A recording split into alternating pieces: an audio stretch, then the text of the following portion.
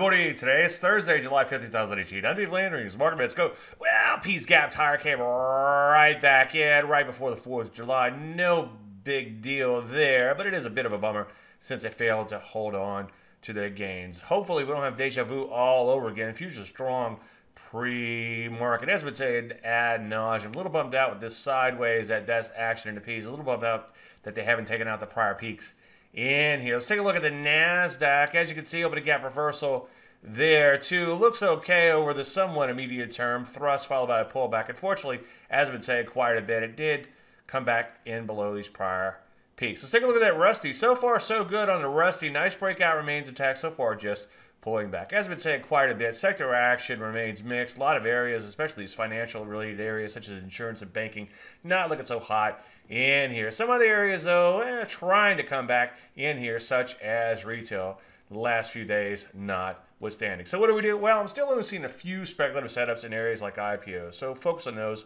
for now and just sit tight. Any questions? As usual, Dave, DaveLandry.com. I'm Dave Landry, user at Mark Minute.